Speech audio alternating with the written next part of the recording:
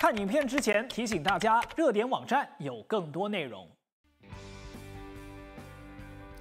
六周选投票倒数三天，但是从实地观察和各方面的报道和调查都显示，华人选民的情绪似乎冷飕飕啊，普遍都存在着一种反正这只是场州选举，影响不了中央政权，那回不回家投票，或者说当天出不出门投票，根本没差的那种心态。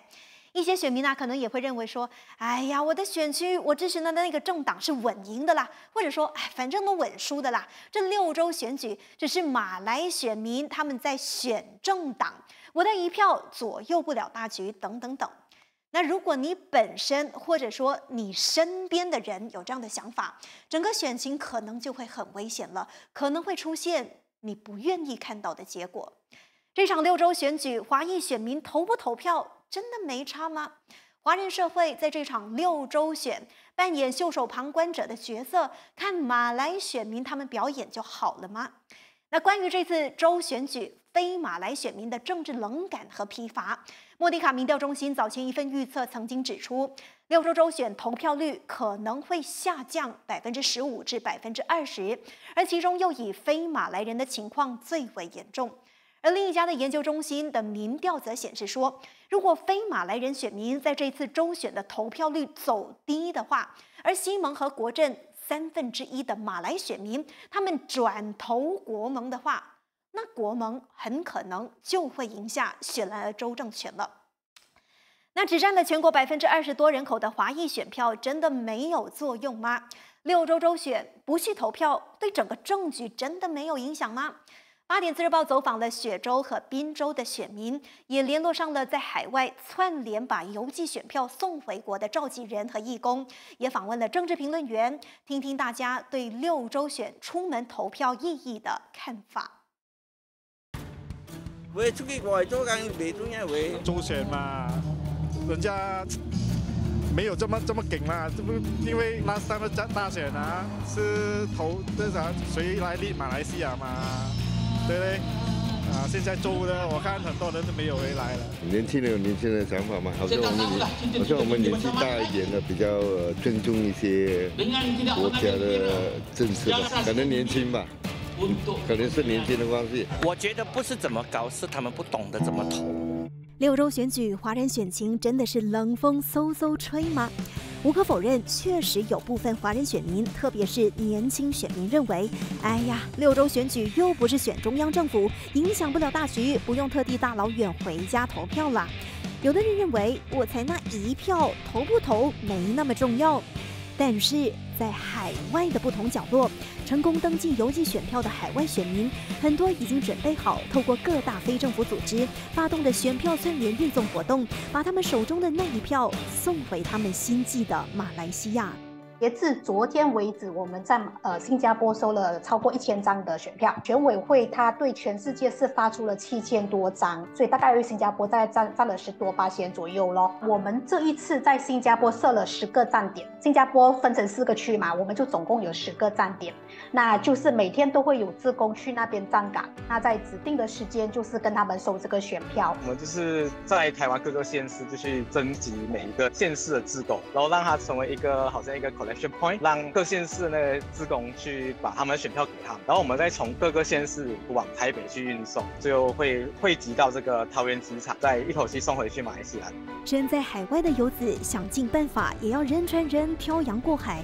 把自己手中的选票送回国。而人在大马的选民更不应该小看自己手上的那一票。然而，对于一些华裔选民消极的看待，反正这场六州选决定胜负的主要玩家是马来选民，华裔选民就算怎么努力也无法影响大局。那对此，两位政治学者潘永强和黄进发特别提醒华裔选民，不要低估自己的影响力，因为在马来选民占了百分之五十至七十的混合选区。马来票选情焦灼的情况之下，那非马来人选票就是定胜负的造王票。基本上就是混合选区嘛。马来选民可能是占多数，但是他又没有超过百分之七十以上，介于百分之五十到七十之间这些混合选区，马来人占优势的混合选区是这个雪州选举的决战点啊，在这些决战点，在这个区块里面，大概有二十二个州议席，那么这二十二个州议席，非马来人的投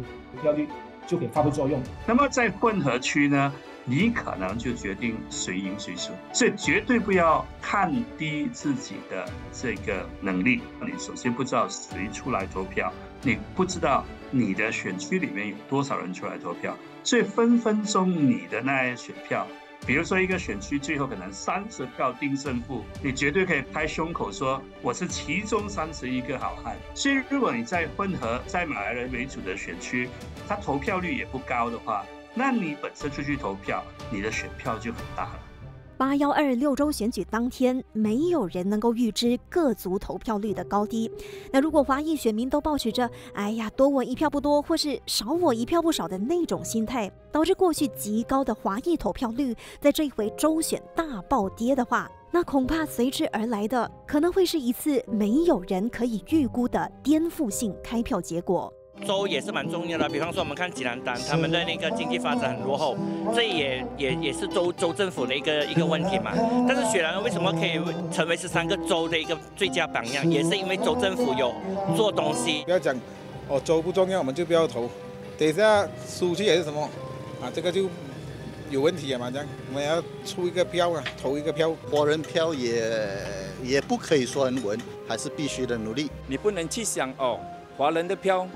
比较多，有的人他不要回来选票的时候，你也是少去了嘛。最要紧要有人回来选。你如果不要去投，是你自己弃权罢了嘛。周选有周选的重要。如果周选如果是和国州可以配合在一起，那么并且的发展会更好。Its own benefit for our country 嘛，our state. If we choose the wrong government, then equally. Equally, it wouldn't be be good for us. 如果我们什么都不做的话，那就真的什么都不会发生，什么都不会改变。我经常都跟我朋友说，你可以选择不投票，可是哪一天当你不满任何政策的话，你千万不要骂政府，因为这个你完全没有参与啊，不是你选出来的，你凭什么去骂？华裔选票真的没有影响力？投不投下那张票，真的其实也没差吗？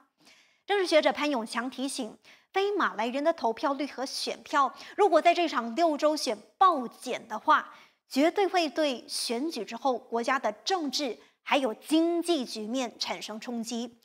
幺幺幺九全国大选之后出现的新政治版图，已经让外国投资者采取观望的态度了。他们要等待六周选举之后掌握了局面再做决定。所以，如果你是这六州的选民，原本是已经打算不回家投票的话，那你最好还是再考虑一下其中的利害关系了。而为了鼓励游子回乡投票，雪龙福建会馆青年团及人民监督站联合发起六州选举免费巴士回乡投票计划。那这一次的免费巴士回乡投票计划呢，将会在八月十一号晚上。星期五的晚上八点正，从雪州还有柔佛州的两个集合点上车，出发到六州目的地。那想要搭乘免费巴士回家投票的申请者，可以扫描荧幕上的 QR code，或者说到相关单位的社交媒体平台去报名了解详情。